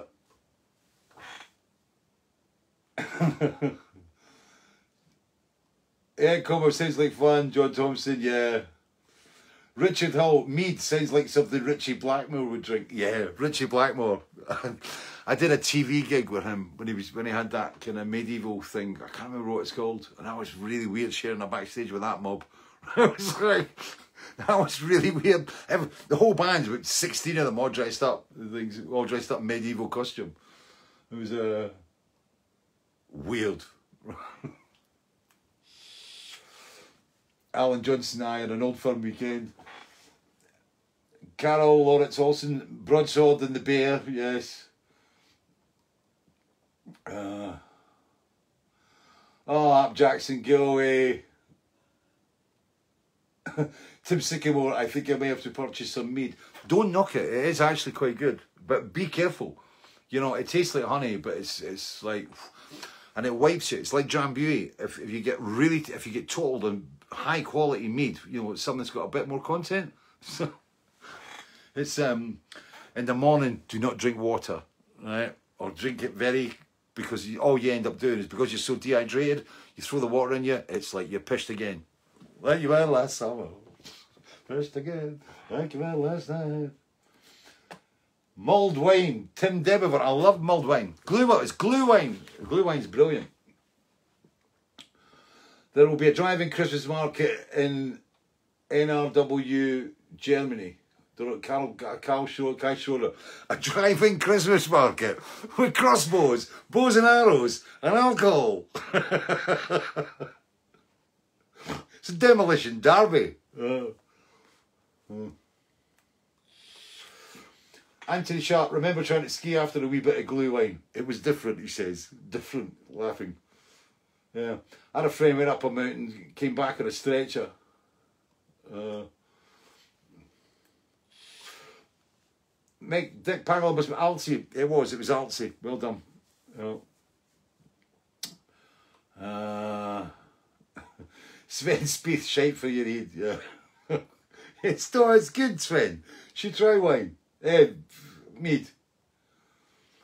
Mike Freeburn, have you still got the garlic mincer from the Belfast Christmas market? Yes, I have, Mike. Yes. that's what, that's what the, the garlic thing, they show you, go, here you are, here's the garlic thing, and this is how easy it is to, like, you know, take all the skin off the cloves and um, get it and mince your garlic and, and you go, and you go, that looks really good, right? And here you go, and it's, it's on here, so it's £20, you can get this one extra for five, and you buy it, you bring it back home, and you go, and how did he do it again? it's an ashtray now. Blackmore's Night, Steve Welsh, that was it. Yeah. John Watson, yep. Mike Britton saw Blackmore Night, it was weird. Yeah, it's it's a it's a strange concept, you know. Yeah. Yes, and everybody's got Blackmore's Night. Yeah, it's a bit like the T-shirt vendor, you know. I know Blackmore Night, Blackmore Night, Blackmore Night. The best at medieval was only James Dio, Kenny Tate. Andy Lim, Drambuie's lethal, far too Moorish. Moorish? Rots your teeth, laddie. It's just uh, rusty nails. I've, I told you about rusty nails in Suzanne Vega before. It's like, you know. Victoria uh, Ozo, you mean Ouzo, right? Do you remember, Johnny Van Bogart, do you remember the tiny concert hall Bebop in Belgium? Yeah, I do remember Bebop. It wouldn't be the smallest place I've played in. I've played in some very small places. I've played in places you need to eat small bits of cake to get so small to get into. Uh, Tina Rennie, here in the States, I used to get pissed and mead at the Renaissance Fair. Uh, it's me, Tim Plant, got wasted on me that medieval banquet in Coventry. Oh dear. Uh, Gary Simpson, all day I've got gingerbread mulled wine in. It's awesome. Ashley, I've tried that Aldi mulled wine. It's it's good. It's good. But I mean, there's nothing standing round a bonfire with a gallon of mulled wine and a side bucket of mead. Oh. Ray promised they stopped selling mead at our beer festivals because people got pissed really quickly. Yeah, if you drunk mead like beer, yeah, like flagon of mead. Uh, yeah, yeah. So we're all, with be Graham Gilbertson, you got to try chili mead. Got some at Barnard Castle. chili mead. Honey and chili. Uh, what? Garlic. Garlic and bread. Robert Arend's Drambuie lethal. Turns into a rusty nail then hospital. Uh, no, I've not got time to do it. I'll do it an hour. I'll, I'll do. I'll tell you my John Drambuie story with Roger Chapman's band like another time. Turnip wine. Harvey Larson. I'm a beekeeper, so I still brew my own mead. Yo, now bees. That is something for the future. We want to get here. We definitely want to get it. Right. Okay. Somebody reminded me. it's twenty past. Moving targets. I actually prepped I came through and looked at it and I saw it was the other side of me, right? And I thought I better go through and listen to it and read all the lyrics to the other side of me again. And, uh, and I did all that and I came back through the computer and moving targets in one. So, so I've set it all up, got a remote. The Heat CD player seems to be working okay. It did a little bit of flutter earlier on, but moving targets. As I said earlier, that was a really weird thing. It was it was like this morning. It must have been a kind of fully kind of vibe. Bruce Watson lives in Dunfermline, and Bruce Watson, uh, during some of the lean years after Big Country split up, was actually working in Rosyth Dockyards and was painting the Ark Royal bat, the Ark Royal Carrier, and um, and it was uh, so Bruce has got a, a big history across there. But Bruce came into the band for the Field of Crows album and um, Field of Crows had a really strange start because it was it was kind of a mixture between a, a, a, kind of screenplay and an album concept at the same time. And uh, I had this idea for a screenplay, and it was basically the, the kind of idea was young guy being brought up, you know, mother dead, brought up in, in, in the country, in the woods. But I mean, it's been done before, right? Brought up in the woods by a, a father and, you know, the, the, the brother. Um, the father dies, but the the young kid is brought up with this whole idea of vermin, and it's he's taught how to shoot. He becomes, you know, very adept with hunting rifles, and um, and basically he's educated in as far as in a very kind of I mean, how can you say it? his attitude that he was given the world was a, a, very different dynamic from other people's, and he just saw he saw animals as kind of he saw a lot of crows and things as vermin, right? And as it, it, the thing was, as he grew up, he was watching TV. He hadn't watched TV before, and he suddenly sees TV, and he basically associates like various businessmen, and he sees corruption on the TV, and he decides to do something about it, and what he does is he, he, he leaves his kind of lair and goes into the city. And he goes into the city as a hunter, right? And he basically starts to take people out that he declares as being corrupt or whatever. I mean, um, it's a very dodgy lines in it you know, to deal with it all. But that was kind of the concept idea, and it's about how he goes in as a hunter and then basically the thing turns around and he becomes the hunted, which um, you know he suddenly realizes as, as he's kind of pursuing his kind of aim and collecting his trophies and things, you know, suddenly the, everything turns and he becomes the hunted and he's chased back out into the woods where eventually he's he's brought down in the woods that he came from. That was the kind of simplistic idea of it all. And that was kind of what I started to pursue with the lyrics. And um, it all kind of kind of got derailed, right? And it was mainly because of this, because I found out about.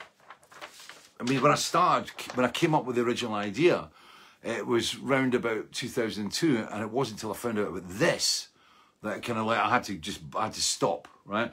which it was the DC sniper attacks, also known as the Beltway sniper attacks, were a series of coordinated shootings that occurred during three weeks in October 2002 in the District of Columbia, Maryland, and Virginia. Ten people were killed and three others were critically wounded in the Baltimore, Washington metropolitan area and along Interstate 95 in Virginia. The snipers were John Allen Muhammad, age 41 at the time, and Lee Boyd Malvo, age 17 at the time, who travelled in a blue 1990 Chevrolet Caprice sedan. Their crime spree began in February 2002, including murders and robberies in states Alabama, Arizona, Florida, Georgia, da, da, da. It resulted in seven deaths, seven wounded people in 10 months. The snipers killed 17 people and wounded 10 others. When I found out about that, it was like I just, I couldn't pursue it. It was like, it was, it was, suddenly it was um, uh, art and reality mix. And um, I had to pull out of it, but I still had the, the lyrics for a, a, couple of the songs, and um, and moving targets was one of them, and that was that was one of it, moving targets was kind of like the the kind of a feed song into the whole plot. But as I said, I mean, I had to walk away from the whole screenplay idea, but it's been done since, and it's um, there are people who have obviously done that, that kind of similar thing. But that was kind of the whole Field of Crows vibe was when it started off, the, the writing started off with that idea of a screenplay about a young boy leaving the woods and becoming a hunter in a big city and, and being, you know, chased back with false values and, and things like that. And uh, it, it, kind of fed into a lot of kind of revenge fantasy stuff. It fed into, you know, you know, White Knight, Silver Sword, killing dragons vibe. And um, it was a simplistic idea, but as I said, you know, I, I, had to walk away from the whole thing. But the the actual shooting was was the shoot the original shootings were really scary because it was a lot of people were just random, and that was the weird thing about about it. I mean, it was they were just killing people at random, right? And it was I seem to remember it was like the, the, the kid was in the back in the boot of the car, and they actually had the, the gun. He was shooting from outside the back of the, inside the boot and shooting through a, a gap in, the actual boot of the car, just picking people off. And there was no relationship, and that was why they got away with it for so long because it was just random, you know. And I just, I, and you know, when I read about that, I, I, I thought it was really scary. I mean, the fact that it was just random, you know. And um, but of course, like you know, when you you hear the lyric now, it it fits into you know very much the, the, the time frame now. I mean, when you look at the situation in Nice, when you look at uh, you know you know what's happened across Europe, what's happened in America, you know, where you know mental health issues and guns. You know, I mean, um, it's it's it's it's quite scary. I mean, you know, guns were taken away from us, and I mean, I used to have gun licenses a long time ago, and it was something I wanted to take up, but of course, um, the Dunblane School massacre changed everything, and suddenly nobody was allowed rifles, and you know, I agree with it. It's um, I mean, I'm I'm looking at America at the moment. I mean, obviously the entire last week was just taken up where I mean from Friday when you know you, you thought that everything was over and we're now suddenly in a place where Trump is refusing to concede despite the numbers, despite so much evidence, right? And despite all these claims being put out, refusing to go. And you're sitting there and you're going, there are seven million people that voted for Donald Trump. And there are more than that that voted for Joe Biden. But I mean, the, the, the schism in America is scary, you know.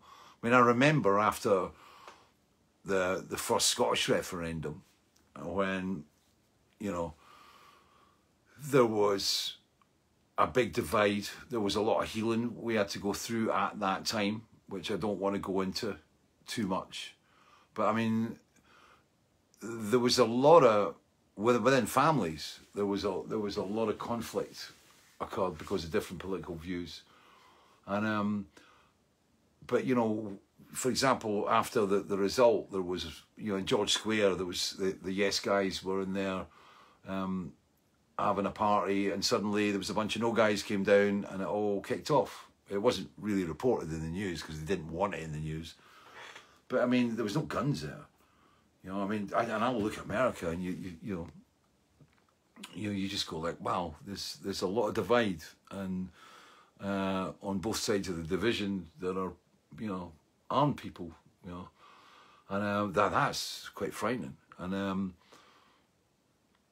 it's it's it's been a, a, scary time, and I think you know, looking at the incidents that have occurred, I mean, you know, as I wrote in. Um, on the, the, the, sleeve notes in the deluxe version of Weltschmerz. I mean, I, I remember you know, being in the train on the way back to Karlsruhe with my respiratory virus coughing up all the way down and on the, the, the kind of the midnight train for Hamburg and you know the news of the Bataclan came through you know and that, that you know and it yeah had a big effect on me and that that was you know a bunch of guys shooters going into a venue and um and you know, and, and, and, songs like some of the songs, you know, that some of the lyrics that I've written, they, they seem to like kind of crawl through time and and and maintain a relevance and uh and moving targets. I think especially the, the end section, but I mean, the end section where it, where it runs through a kind of a,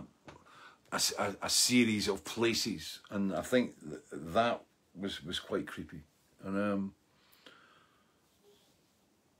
but it was um, Targets was it was one of the first songs that, that we, we put together and I always loved it but I loved the explosion and I think you know having and Mark Brzezicki came in on, on drums and um, you know having Mark and Steve Vantsis playing together was that was a, a whoa that was a real oof rhythm section. And you know when that explosion happens in Targets where it just goes do do do do do do just the control. I loved just like i said the entire dynamic of the song and and the pulse at the front of them. You know it's the hunting but it was like getting all the different references to calibers and guns and shells and and and stuff and and as i said i mean it, it became a kind of a microcosm of that and that screenplay that never really came together you know I kind of wrapped it up in, in the moving targets thing. So, without further ado, it's half past, and we should maybe go through and listen to a song. Follow me. Oh, nearly took the mead. See, automatically going for the mead. Ah,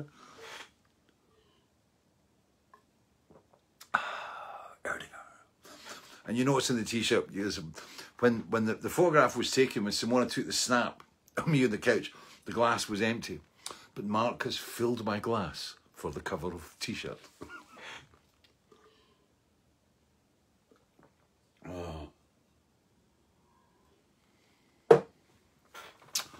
Let's go through. Ah. From the control room. This um, next week, next Monday, there's going to be some um, there's some changes going to happen here. We've been trying to get them done for ages, and um, one of the things is up there. These are up there. That's two Velux windows that have been in since 1991, and um, they've blown what they call blown. The, the, the seals have gone, and there's all sorts of stuff. But we don't know what's up there. You see all that? There might be aliens breeding up there. There's dead spiders and everything. Anyway, they've got to go up there and replace the Veluxes. And the other thing is, this is I showed you before. This is the mail room, right? There's my um, Guido.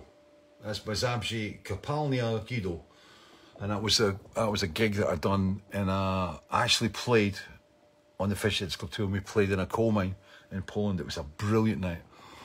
And um, but this is the mail room, and that wall there is getting a window knocked through it.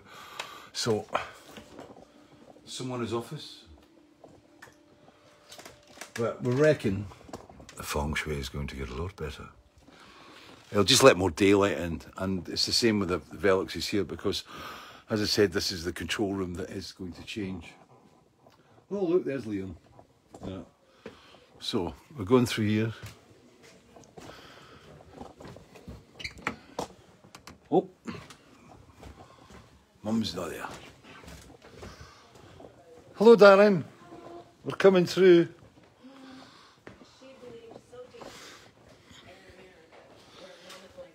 Guess what? Simona's watching CNN. Bing, bing. Whiff. Oh, one thing we watched. If, if you've not watched it. Oh, by the way, Mike Freeburn. See that lot?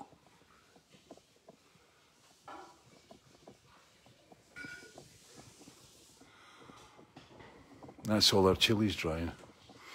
And someone's got a load of other stuff drying down here. That's all our teas. There's all these amazing teas.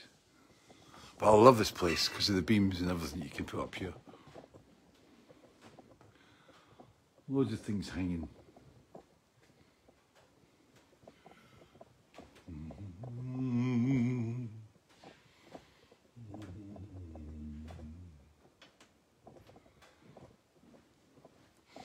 And that, you bought me, you bought me the heart, didn't you? Remember, years ago. Simona bought me that you- for, for Christmas. Karlsruhe Christmas market. Hello. Be through in a minute. Right. Fire's on. Just get you set up right. Just drop you down so you can catch the candles and everything. Have the candles. Where's the candles gone? Za za za. Ah, bollocks!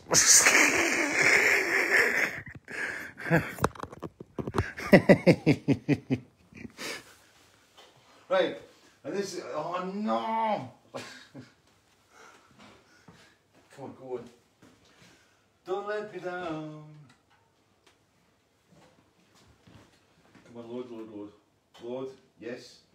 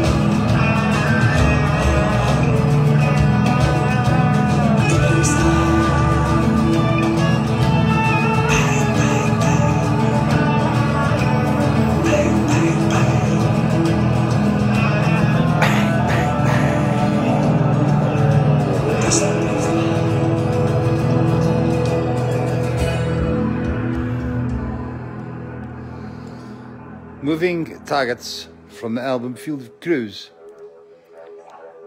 Oh. Oh, I was going, how come that's still playing? I got my laptop on. I got clever this time. So I put it, oh, it's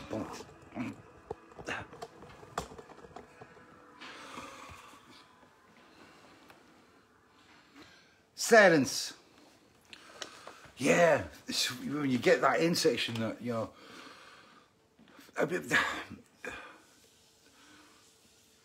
supermarkets and shopping malls, you just go, whoa. Yeah, it's still holding. It's a bit bright up there. Can't have the shade on the bond's getting too much. Yeah, but the explosive bit, and the, that explosive bit is just like, oh, still, when you play it live and it goes into it, it's like, ba ba ba and the pushes and stuff, oh, it's great, love it. Love it, love it, love it. But, um, Simon Farquhar, Farquhar's Corner, Farquhar here for Farquhar's Corner. Um, oh yeah, Sabine Brigdolf, what John Smith. Yeah. Oh, Bob Hoff, yeah, my shoulders are, are better. They're still stiff, but you know, they're a lot better than they were. Still twinge. Darling, they would like to know who dear this airing has turned into a glass of wine. Or is it mead? Um, I was just showing them the, the remember we bought the mead at Karlsruhe at the Christmas market. The what? Remember we bought the mead, the Med. Met. Yeah. Yeah. Met. Yeah. Yeah. Met is German for mead. Met. So, Met. M E A D. Yeah, it's mead. That's what we call it here. Okay. You call it Met. Ah, you have the same here. Yeah. I didn't know that. Yeah, and somebody's, I said he's going to send us a couple of gallons. What? oh, sh- never mind. And shit, here comes Mungo. so, darling, what's for dinner tonight on Mummy's birthday? Oh, she loves cauliflower, so it has to be cauliflower in a bechamel sauce and my favorite little potatoes. Yes. What are they called? Fir apples. Pink. No, these ones are just fir apples. I don't think Yeah. they're pink fir apples. Fir apples. You, oh, you got one? I'll go get one. They're, they're in the pot. Wait. You got one. Fir apples. I grew these as for those of you who go onto the Funny Farm Kitchen Garden Facebook page, you'll have seen the potato growing thing. And I've got shitloads of these potatoes and they're great. Fir apples. Seemingly they came out of Holland and I think it was about 1857 or something. And they were really popular. Well. And they're ugly little things. Well, They are. Some are a little bit bigger, but mostly they're like this. Yeah, they're little tubers and they're so tasty. And they only they only grow to about they only grow to like about that. Right. And um, they're really tiny. You can see them, fine. but they're so tasty. And they were, they were sorry But you don't need to peel them. That's good. because we grow them in the bags, right? Because we grow the tatties in the bags. All you do, you've seen me do this on Fish on Friday before when we used to have daylight, right? And you basically empty the bag out and just pull the tatties out, and we've got loads of these. We've got we've got about eight bags of these, and one one bag, right, can do us for about a week, right? So they- they're so good, but they, they came for Holland, and and they they completely fell out of favour, and because everybody thought they were really ugly, everybody liked these nice round smooth skinned potatoes and stuff, and they fell out of favour, and they're kind of uh, early twentieth century, and um, but they've come back in again, and they're becoming really popular, and they're a gravy salad potato, and you can boil them and um, you know, let them cool off, use them in salads. We use them as soups and everything, but they're fantastic, and that's what we're having tonight. And, And- organic pork chops from a farm shop. Yeah. we went up to East Lothian Organics today to get some bits and pieces. And, um, so we got some some organic meat, which is like a lot better than the, the stuff supermarket. It's a bit ka-ching, you like, you know, and you kind of deal with that. But but yeah, so it's because it's my mum's birthday, so she lo- loves cauliflower and the wee ties, cream sauce, pork chops, yummy, yummy, yummy, munchy, munchy, munchity, munchity. Quarter two, when are we? Oh, oh, I've got to watch this. Oh, no, no, no, no, no, no. Oh, bollocks. How to do this? It's not working. Ah, there we are.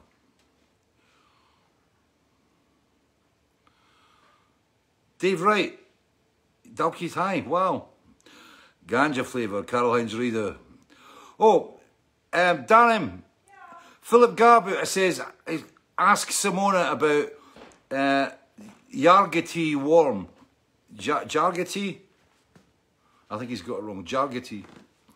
Jargati Varm. Is tea. Jägertee, isn't this uh, glühwein with rum? I don't know. I have never. I never drank it. Something.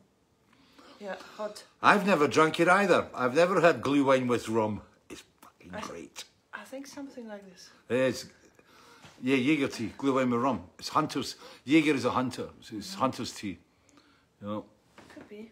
Uh, da-da-da-da. Hmm. Rico Anker, you should try the Dutch Opperdoes potato. Um, oh. Arva Larson, oh, Arva Larson, you're becoming you're becoming a, a, my mead dealer, right? Oh. Wagner Villacha, hello from Brazil. Kate Ford, watching a film the other night. It was called Trauma. Lavender, your song was played throughout the film. Do you get royalties for this? I didn't even know it was a film called Trauma, and I've never heard about it. It's uh, Irish. Was chuff up the skin with a scouring pad. Right? Happy birthday, Mrs. Yeah, I would go through, but it's like my mum's knackered today, so she was going to put in a wee appearance, but it's um, she's having a wee sleep. John Uri, don't let the pork chops get dry on you. Da da da. Yeah, pork chops for dinner and fir apples. Don't forget them. We have no mead. Yes, we have no mead. Well, so.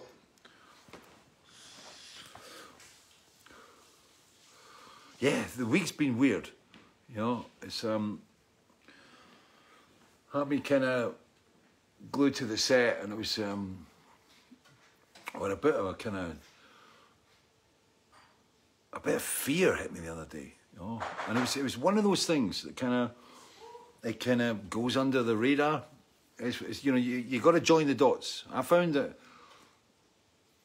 when I did the tours in Bosnia in '96, which we've never really discussed yet because nobody's picked Tilted Cross yet for a kickoff, right? But um, the one thing I learned when I was down there was was to read more and take more interest in the history and read the other pages in the newspaper because you often find these little things in the back of a newspaper and like little articles that pop up on you know on, on I mean I, I, I subscribe to about three three papers three newspapers right I do the Guardian Independent uh, I do the Edinburgh Evening News and I've also got one with a um, uh, with a Telegraph and I, I scout about and I look at other papers you know I mean I don't follow, you know, I mean, I'm also subscribed to the National, which is an independence newspaper up here. And um, but I don't believe everything that's in there. The same way as I don't believe everything that's in the Independent. You know, and I, I look about, and it's always interesting when you scroll down articles and you see things, and you just re- you remember things and things twig you. And um, talking about screenplays, I mean, you know, if you were to write a screenplay about kind of what's happening in our world at this moment in time, it's it's it's it, it's surreal, you know. And one of the things was the the defence guy that was kind of booted out, stroke resigned across in the states. This is all happening just weeks after there's this wonderful new deal where the UEA is recognising Israel and Israel is recognising the UEA, blah blah blah, and it's, everything's coming in. And then right under the radar, on you know flipping down the pages, there's this massive arms deal that's been done where, you know, down in, in, in the Emirates. And um, all happening at the same time as, you know, the president's refusing to relinquish power, getting rid of it. And you just go like, you know, it's a nightmare scenario. It's, you know, he's only got so long to go and like how much, you know, turmoil and things could be created, you know, in, in that period. And it's worrying.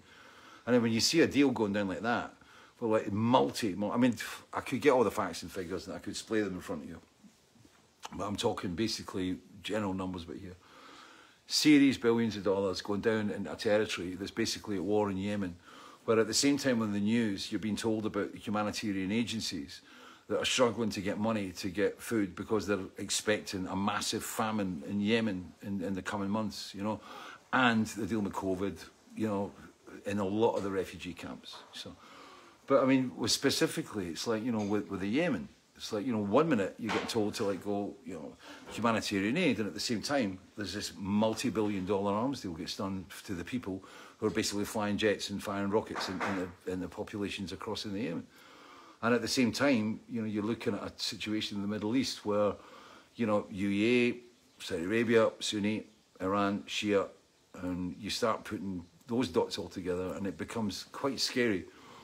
And I'm concerned in a, in a bit of this. And it's like watching the COVID figures go up, you know, as well across the world is um, disheartening to say the least. And uh, but I mean, you know, we we just been watching. I was watching the news the other day, and you just go like, you, there's, there's so many things happening, like so far down the page, that you know, a year and a half ago would have been top of the page, you know, and things occurring. You know, I mean, it's um, it worries me, you know, and it's. it's you know, and, and, throwing the, whole COVID thing in, in, on, on top of it all, you know, it's, it's, it worries me about the world we live in.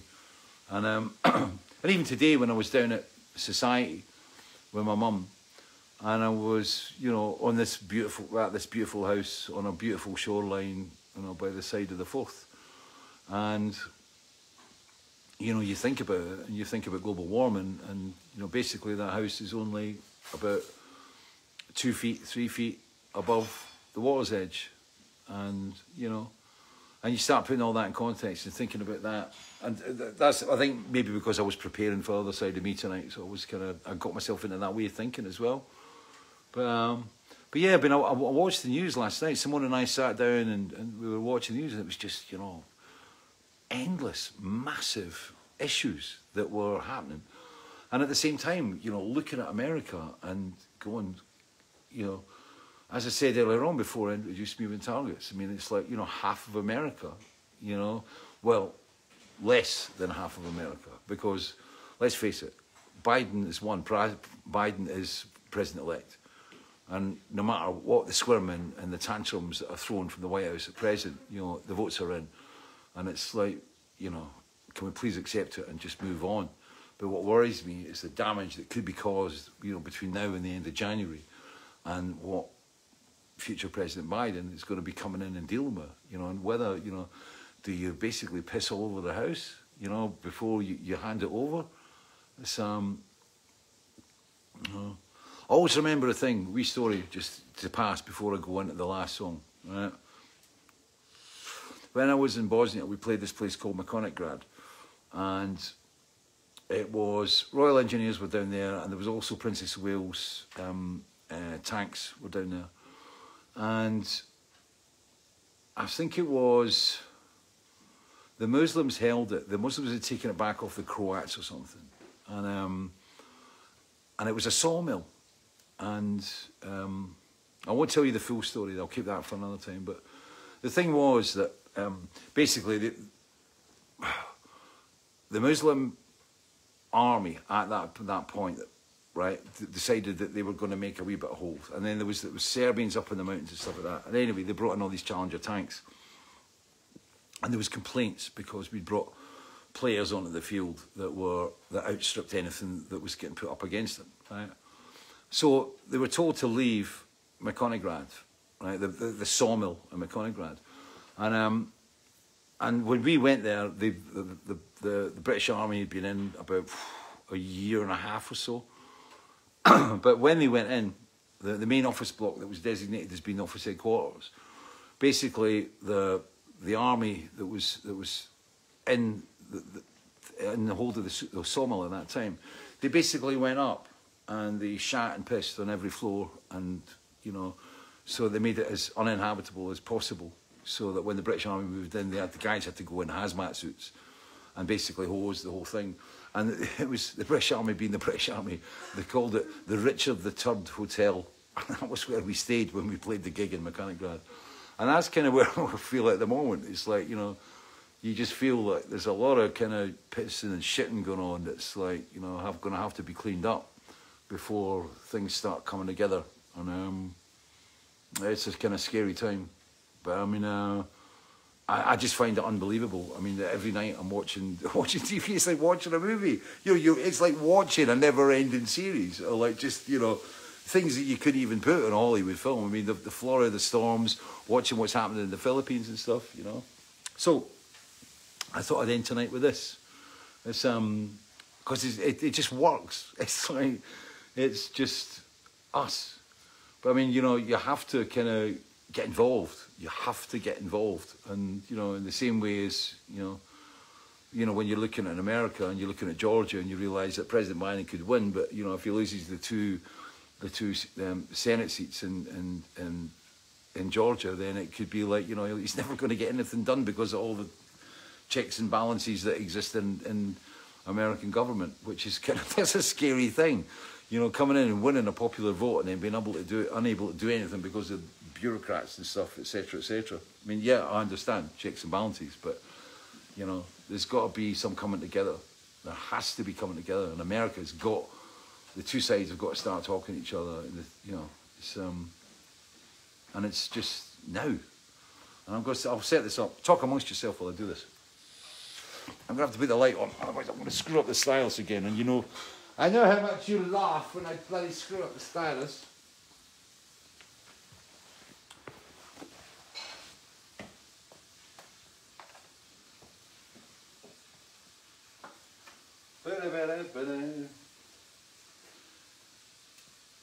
Everything must be.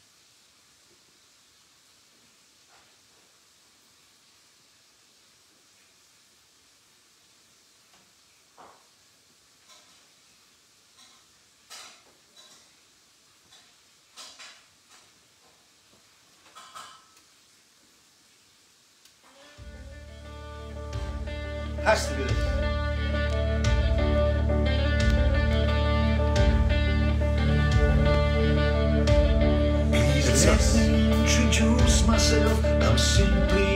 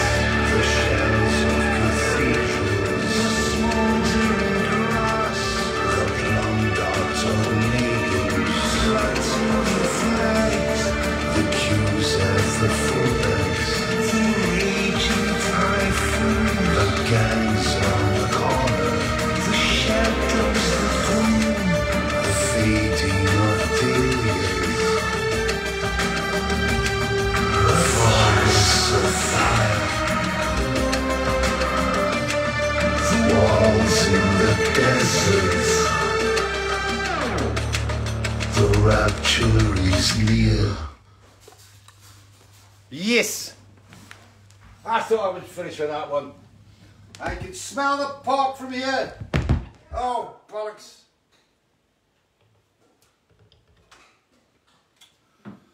I'm a heavy handed man. And so, another Fish on Friday goes by. To all of you in uh, lockdown, I know it's all really tough. Uh, it was, like I said, it was weird going out today with my mum. It was the first time my mum had been out of the house since uh, the beginning of the year. And um, um, and I, I find it weird going out and driving around and, and, and seeing other people because we're wrapped up in our little oasis here. Um, uh, oh, one thing I want to say. Oh, I don't have the example. Have you got one of the the masks? Yeah, just let me bring you along. Yeah, yeah. Sorry, babe. Um, Ralph Niederberger. Um, he was he sent a graving and he sent us these. He, he custom ordered these masks for himself. We're not. We don't sell the masks. I've, I've, got no intention of kind of getting proper masks made up. I use the buffs. I actually use the double, double mask, and uh, I wear them religiously, out, religiously outside, and uh, still follow all the rules. As I said, it's like you know, and even you know, I'll open up the show tonight. We're, we're you know talking to, you know, talking about a guy that- that's been you know weeks in hospital, you know, and it's still rampant. And you see the figures coming out of America. I mean, El Paso and stuff. It's just frightening. Utah and things, and then you know, watching the Spanish and French figures. You know, it's uh, And it's great, you know, your vaccine in the way. Wow, vaccine its way. When we're going to get it, when you and I are going to get it, it's like God knows. And um, and just because it's on its way doesn't mean that it's like everything's kind of cool and everything. But um, eh, either one, anyone, This one. yeah. You you got to go in the light. I like it. the other one's there. Yeah. Oh yeah, there's the other one. Yeah. This one, this one's a bit small for me. It makes makes my ears do the FA Cup vibe, right? Oh God, shit. Oh, bollocks. I'm smiling. Oh, it's upside down. anyway, it's that. So Ralph, thank you very much for for these. You know, but um, like I said, I wear the buffs. I, I, I just feel more. I don't like things hanging around my ears. And, um, but it's common sense. It's all down to common sense, and it's great that the vaccine's coming along and all the rest of it. I'm sure there's going to be loads of questions and to and fro and media shit back and forward and back and forward and up and down and toasting our heads and fragging us with this stuff. But I mean, um, the fact is that like, okay, there's a vaccine coming, great. We've known that, right? But it's not here yet. And the, the, the, basic issue is you still have to follow all the protocols. And it's like, I know people don't like being told what to do. And that's what I say every time, every week. Common bloody sense, right? Wear a mask when you're out. And they're now saying it protects you as well as it protects others, you know. And, you know, washing hands. I mean, I, I mean, today I just went, I went to the petrol station and it was like, you know, dusted right up, man. And I have to watch. I've got an 88 year old mother through there, and I'd like to see her reach 89. And, you know, both my mum and uh, myself and Simona, we're all kind of, I mean, we, the three of us are shielding because, like I said, my sepsis and, and Simona's got her, her own health things. And uh, we're okay, but we're doubly careful. But we, it's common sense. It's like just treating everybody properly and, and dealing with it. there's there's people watching this from wards tonight. Think about that, watching from a hospital ward with COVID tonight, right? And um, think about that. You know, I was watching. There was a thing about long COVID. The Scottish government's got this thing where, you know, they're they're putting five million in investigating long COVID, which is something I'll talk about again next week. But for this one, it's like thank you for tuning in again and being part of it all. And it's- I hope you enjoy these as much as I do. Sometimes I go off in tangents, and sometimes I will wander in areas that people I can hear the sharp intake of breath coming along. But that's kind of what I do, right? And uh, that's me, and um, and I'm older and I'm allowed to get away with it. So tonight it's uh, an end of another Fish on Friday, number 34 or 35. You know, I'm not counting. Read the back of the T-shirt, you'll find out how many it is. Um, but until next week, um, I'll be back here, uh, you know, on control room couch, venue to be confirmed, but it's here somewhere in this house. so until next week, um, just take care and just stay alive and watch after yourselves. Be sensible and just you know employ common sense uh, in the best way possible. Okay, take care. Bye.